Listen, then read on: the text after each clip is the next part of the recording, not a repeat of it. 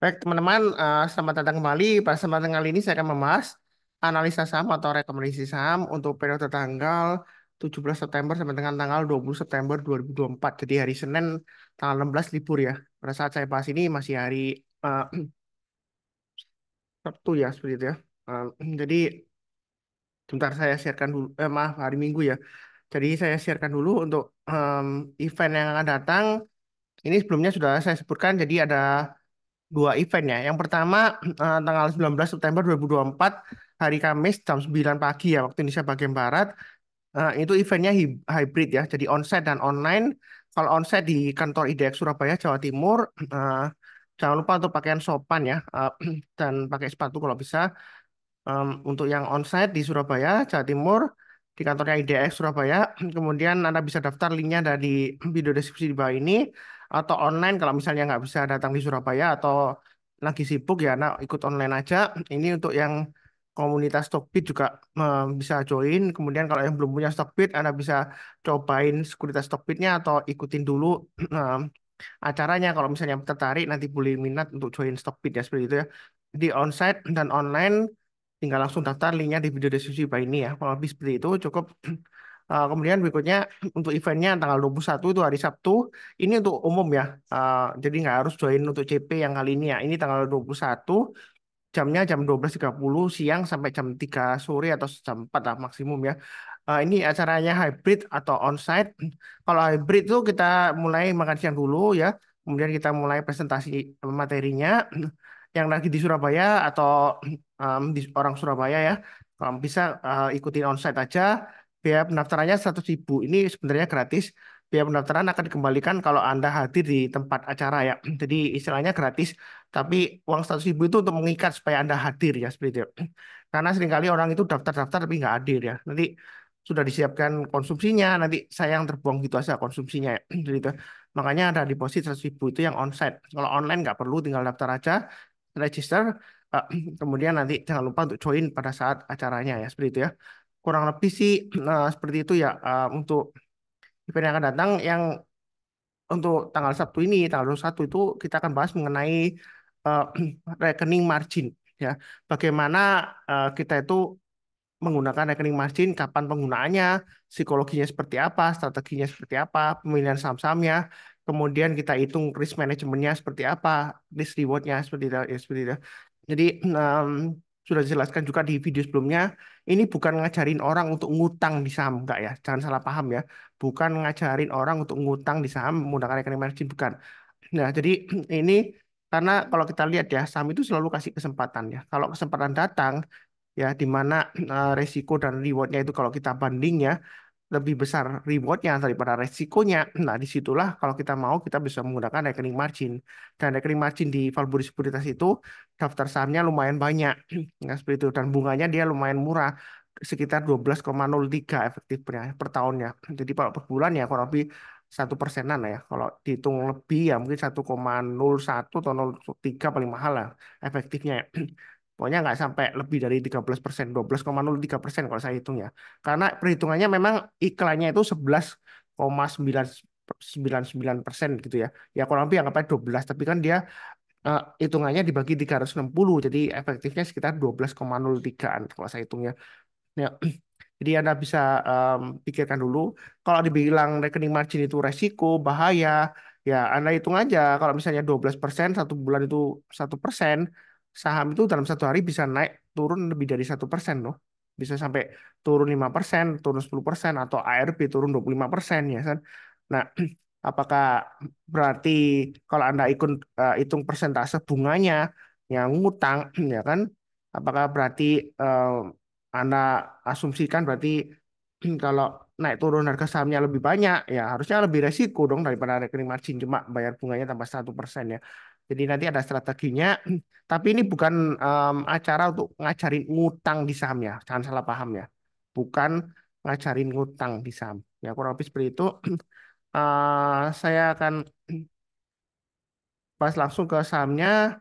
Yang pertama saya bahas, sebelumnya saya sudah buat video, saya bahas BBCA, BMRI, BBRI, BBNI, BNGA, dan PNBN. Nah, seperti itu. ya. Nah, kali ini saya akan bahas mengenai BRIS. BRIS saat ini dia menguji area resistennya sekitar 2900-an ya. Bagaimana Pak Sunar? Apakah kita tunggu di bawah? Kalau Anda mau tunggu buy and weakness, ada dua area yang mau Anda bisa tunggu ya. 2400, kemudian nah, berikutnya kalau mau buy and weakness sekitar area 2700-an. Jadi kalau dia turun, jangan langsung buy. Tunggu kalau dia berhasil rebound mantul ke atas, kita barusan buy. Jadi ini 2700 mungkin nanti dipotong sekitar area MA20-nya. Ya. Anda bisa tunggu di sana, buy on weakness. Tapi kalau nggak dikasih, kita buy high sell higher.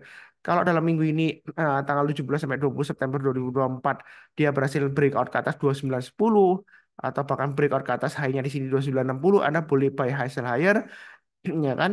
Uh, atau average up kalau sudah punya target price berikutnya masih bisa ke 3200 itu untuk BRIS. Jadi uptrendnya masih bagus. Prinsip saya ya kalau uptrendnya masih bagus itu boleh buy high sell higher. Apakah ketinggalan atau ketinggian? Biasanya saya sering ditanya seperti itu karena sudah naik tinggi dekat resisten.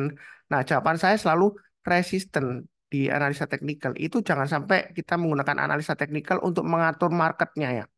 Ya, sering kali orang kena resisten langsung jual. Memang di sini kenyataannya memang kena resisten turun Pak Sunar jual. Ini nggak sampai tembus ke atas kemudian dia turun. Ini berarti saatnya jual Pak Sunar karena dia bakalan turun karena sebelumnya dia turun.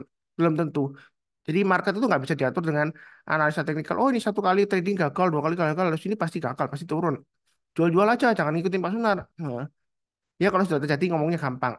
Ya coba kalau ini naik lagi. Tapi bukan berarti pasti naik, enggak ya. Saya nggak bilang pasti naik, enggak. Tapi saya itu prinsipnya adalah follow the trend. Selama trennya masih bagus, kalau dia breakout higher high, ya dia akan membentuk high yang lebih tinggi lagi. Kalau misalnya Anda membatasi dengan resisten, bagaimana Anda bisa menjelaskan ini bisa cuan dari sini. Ini sebelumnya kan lama ini 2023 ini contohnya. Ini lama dia nggak bisa tembus-tembus ini ke area resistennya 1800-an.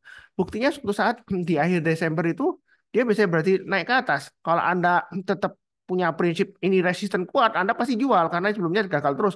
Berapa kali ini gagal? Satu kali, dua kali, tiga kali, empat kali gagal ya seperti itu. Area sekitar 1800-an. Anda pasti jual. Kalau dia naik, Anda nggak berani beli, Anda tunggu di sini. Akhirnya Anda ketinggalan profit dari 1800 sampai 2800-an ya seperti itu. Karena uptrendnya sebelumnya masih bagus ya. Dilihat aja emang 200-nya mengarah ke atas. Ya, ketika EMA 20-nya sudah mengarah ke atas, harganya sudah naik lagi ke atas EMA 20-nya ya kita buy. Sama kayak ini prinsipnya ya. Saya gampangnya pakai EMA 20 aja.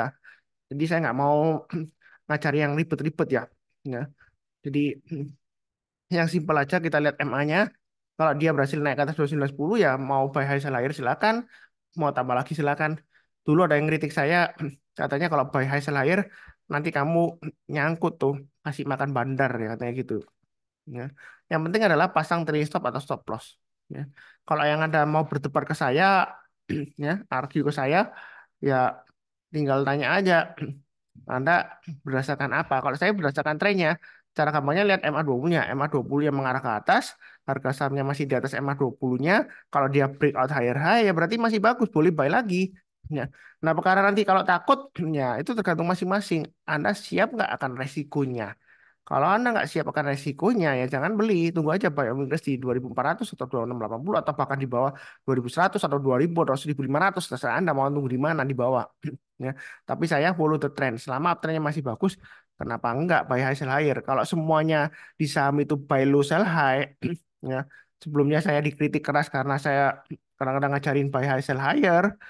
Nah, kalau semuanya buy low sell high, nanti kita mikirnya gampang aja logikanya. Yang buy high-nya kita siapa? Semua pada mau buy low semua, tungguin semua. Jadi nggak ada yang uh, buy punya kita, nggak ada yang ngangkat nanti ceritanya. Ya. Tentu saja mereka yang buy high sell higher yang mau beli lagi karena dia follow the trend. Nah, perkara nanti dibanting, masa salahnya Pak Sunar? Kan enggak. Saya nggak bisa ngatur marketnya, kecuali kalau sahamnya nggak liquid, saya bisa ngatur. Nah, ini kan lumayan liquid, likuiditasnya lumayan besar. Ya. Kalau lebih seperti itu, kemudian untuk Arto, Arto dia masih sideways. Kalau yang mau tunggu bayar minus tunggu aja di 2640 atau 2700-an kurang lebih ya. Kalau turun jangan langsung buy, tunggu rebound mantul ke atas baru sampai. Ini mau buy sekarang sebenarnya sih lumayan menarik juga untuk Arto. ya, tapi jangan terlalu banyak, buy-nya bertahap aja. Kalau dia naik setiap lipatan 100 atau 200 Anda bisa tambah lagi average up. Kalau dia breakout ke atas 3000, memang di sini kalau kita lihat kena resisten dia gagal turun ya. Kena resisten dia gagal turun. Nah, kali ini kalau dia breakout ke atas 3000, tetap saran saya tetap tambah lagi kalau sudah punya atau belum punya kalau mau buy silakan. Ya. Wah, Pak Sunar, nanti dibanting tuh resisten. Bapak uh, nggak tahu tak resisten itu apa. Nah, saya sih prinsipnya jangan sampai resisten itu menjadikan tembok. Jadi resisten nggak pasti pasti batalan turun, nggak pasti ya. Kalau Anda bilang resisten itu pasti turun ya, ya ini kan resisten di sini. Ini mau naik gagal. Ya ini buktinya dia mau naik dia gagal lagi, turun lagi kan? Eh turun naik naik naik turun naik turun naik turun. Nah ini kalau dia breakout lagi, gagal lagi pas nanti ke resisten. Mungkin ini Anda nggak baik-baik, Anda tunggu di sini terus. Mungkin Anda bisa tunggu di sini, ya nggak baik-baik terus nanti ya kalau Anda tunggu di bawah sini. Karena anggapannya dia ini resisten Pak Sunar, tunggu aja, tunggu aja, tunggu tunggu tunggu ya. Nanti naik lagi, naik lagi. Akhirnya Anda, anda ketinggalan profit dari 2.600 di sini sampai 3.000 ya. Padahal di sini kan sudah kelihatan afternya mulai bagus ini. MA20-nya mengarah ke atas ya. Kalau harga sahamnya sudah di atas MA20-nya, memang dia kadang-kadang breakout kemudian turun lagi. Tapi kalau belum kena stop loss, kalaupun sudah kena stop loss, kalau dia berhasil rebound lagi ya kita buy back. Ya. Karena kunci sukses di saham itu ada tiga, sabar, fokus, dan disiplin. Disiplin itu bukan hanya disiplin cut loss ya. Kalau Anda disiplin cut loss doang, nanti ceritanya Anda cut loss terus, ya nggak bisa buy back. Kalau uptrendnya balik lagi ke atas, anda sudah cut loss, Anda nggak mau buyback atau takut atau trauma ya karena terbawa perasaan ya akhirnya ketinggalan lagi profitnya ya seperti itu. Dinamika trading memang seperti itu ya. Satu kali gagal, dua kali gagal, ketiga kalinya belum tentu gagal ya. Jangan sampai-sampai kita itu punya mindset anchoring ya. Kaku banget anchoring. Kapalnya sudah mau berlayar, jangkarnya nggak dilepas-lepas, ya gimana mau berlayar kalau jangkarnya nggak dilepas kapalnya ya ya anggapannya seperti itu lah. Jadi fleksibel aja, yang penting pasang trailing stop, stop loss, uptrendnya masih bagus. Ini sideways ya, tapi sidewaysnya itu di jalur uptrendnya. Ya sudah apalagi kalau kita lihat MA 200 yang mengarah ke atas, ya MA 20 di atas MA 200 ya, berarti jangka pendeknya dia masih bagus. Ekonomi seperti itu cukup. Berikutnya BBTN uptrendnya masih bagus. Tahu dari mana uh, MA 20 mengarah ke atas, harga sahamnya masih di atas MA 20-nya. Apakah sentimen uh, penurunan suku bunga nanti sektor properti booming uh, BBTN dia naik ya kalau kita lihat BBTN ini memang uh, lumayan besar ya kredit perumahan ya jadi kalau kita lihat ya tergantung resikonya juga ya kredit macetnya. Nah ini kalau kita lihat uptrendnya masih bagus. Kalau yang mau buy on weakness Anda bisa tunggu di 1340 atau 1375 sampai 1400 MA20-nya ya. Kalau dia turun jangan langsung buy. Tunggu kalau dia berhasil rebound, rebound mantul ke atas kita barusan buy. Ya, itu buy on weakness di MA20-nya atau kalau nggak dikasih kita buy high sell higher naik ke atas 1450 kita buy naik lagi ke atas 1460 uh, resisten minernya ya swing hanya di sini kita tambah lagi average up target price berikutnya dia akan muji 1500 kalau naik lagi kita tambah lagi target price berikutnya 1560 dan 1610 itu untuk BBDN jadi uptrendnya masih bagus. Jangan terlalu takut Pak Sunar ini resisten loh. Naik ini naik memang higher high tapi turun lagi tunggu di bawah gitu ya. Ya boleh aja kalau anda mau bayar milisi itu di bawah. Tapi kalau nggak dikasih ya yang masih berminat ya. Kalau masih berminat ya buy high sell higher. Kalau nggak berminat ya pilih sama yang lainnya aja. Ya kurang lebih cukup. Berikutnya PNLF fluktuasinya tinggi. Tapi kalau yang sering ikutin saya ini garis-garisnya sudah saya gambarkan. 1410 ke atas ya kita boleh buy ya Jangan lupa pasang trade stopnya atau stop lossnya atau kalau mau tunggu buy on weakness lagi tunggu di MA 20-nya sekitar 400 ya. Kalau turun jangan langsung buy atau area supportnya di sini 378 sampai 368. Kalau turun jangan langsung buy menjelang penutupan atau besok paginya kalau dia berhasil naik ke atas kita pasang automatic order ya. automatic order buy kalau sudah berhasil naik ke atas lagi kita buy. Nah, kemudian average up kalau dia naik lagi ke atas 424. 424. Nah, ini kalau yang mau buy ya kita lihat ini um, high-nya hari Kamis itu di 432.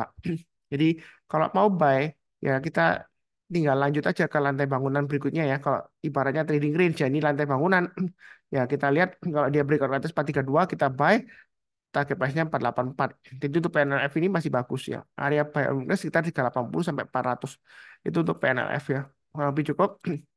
Berikutnya untuk ADMF ekor panjang ke atas ya. Ini bukan bank ya. Tadi PNLF juga uh, bukan bank, tapi ini lembaga pem pembiayaan ya. Uh, nah, ekornya panjang ke atas, apakah ada aksi korporasi atau lain-lainnya? Saya nggak tahu ya.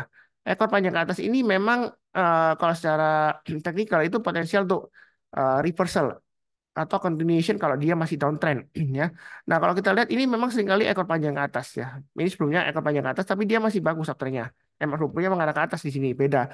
Kalau ini MA20-nya masih mengarah ke bawah. Jadi kalau mau mau buy di ADMF ini Ya, caranya adalah kalau kita mau buy, kita tunggu kalau naik ke atas 11.325 kita mulai buy. Buy-nya bertahap aja, average up. Kalau naik kita tambah lagi average up, naik ke atas 11.500 atau 11.600 kita tambah lagi, naik ke atas 11.875 tambah lagi, target price-nya masih tetap sama, resistennya 12.250. Kalau dia naik lagi ya target berikutnya 12.900 dan 13.400-an ya sini ya sampai 13.650. Jadi baiknya bertahap aja, jangan langsung buy sekarang, tunggu aja. Naik ke atas 11.375 kita pasang automatic order, buy. Naik ke atas 11.500 atau 11.600 kita tambah lagi average up. Jangan lupa pasang stop lossnya. Jadi kalau dia gagal turun di bawah 11.100, kita jual dulu semuanya. Tapi saya nggak tahu ya, apakah ada aksi korporasi, penerbitan obligasi, dan lain-lain. Saya nggak tahu, cek sendiri beritanya kenapa kok tiba-tiba ada lonjakan. Tapi kalau kita lihat dari volumenya, ini masih belum terlalu besar. Memang volumenya sudah mulai naik, tapi masih belum. Jadi belinya bertahap aja, jangan terlalu agresif, tapi jangan terlalu takut-takut juga ya. Lebih cukup. Berikutnya BTPS masih lesu di bawah. BTPS ini memang eh, masih kalah jauh dibandingkan BRIS yang masih lesu di bawah. Tapi yang menarik di sini MA20-nya sudah mengarah ke atas walaupun dia cenderung sideways ya. Kalau dia masih bertahan sekitar 1200-an ya dia masih cukup menarik kalau mau buy. Nah, ini tinggal tunggu aja.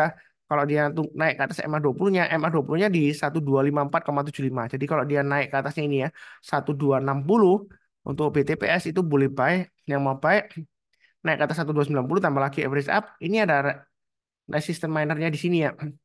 Jadi kalau dia um, bentar saya gambarkan di sini swing high-nya di 1330 kalau dia berhasil naik ke atas 1330 boleh tambah lagi average up target price berikutnya di 1415 ya. Selama dia masih bertahan di atasnya 1200 ya atau swing low-nya di sini di ya 1200 ya. Itu untuk BTPS masih cukup menarik sih ya kalau mau buy sekarang. Ya memang masih lesu sih. Ya kesempatan. Karena kalau kita lihat di sini ini masih bisa turun lagi. Turun pun tapi masih terbatas ya. Ya mungkin anda bisa pasang stop lossnya di 1145 atau maksimum 1100 lah. Maksimum banget ya. Tapi kalau 1100 mungkin terlalu jauh. Mungkin ya 1150 atau 1145 kalau pasang di 1200 mungkin terlalu dekat ya masa buy sekarang stop lossnya 1200 ya kena tuh Pak Saudara yang kadang-kadang fluktuasi itu paling nggak lima persen lah ya kita uh, kasih batasnya. Atau sekalian tunggu buy on saja di 1145. Kalau dia turun di banyak 1145 ini sudah pernah saya gambarkan area buy on saya perpanjang ya. Uh, kita boleh tambah lagi average up ya. kalau dia naik kita berusaha tambah lagi average up tapi kalau misalnya masih belum breakout ke atasnya ya kita jangan buy. Tunggu kalau buy on itu turun ya jangan langsung buy. Tunggu menjelang penutupan atau besok paginya kalau dia sudah berhasil naik ke atas kita pasang automatic order ya kita boleh baik kalau dia sudah rebound mantul ke atas. Ya, kurang lebih seperti itu. Jangan lupa untuk sign up dua event yang sudah saya sebutkan sebelumnya. Uh, onsite dan online hybrid ya. Tanggal 19 itu hari Kamis, kemudian tanggal 21 hari Sabtu. Uh, siang ya, seperti itu sambil makan siang. Mungkin yang Sabtu uh, yang di Surabaya ya, uh, mungkin biasanya ada yang kerja setengah hari, setelah kerja bisa langsung ke acara edukasi ya, uh, di TP ya di Pak Gedung Pakuan Center ya di area TP sana ya di Surabaya. Kalau yang nggak bisa ikutan onsite ya ikutan online aja daftar ya kurang lebih seperti itu free terbuka untuk umum. Jangan lupa untuk nonton video yang lainnya seperti biasanya. Izinkan saya mendoakan semuanya selalu sehat, damai dan sejahtera selalu. Amin. Terima kasih banyak. Sekian. Tetap semangat. Terima kasih.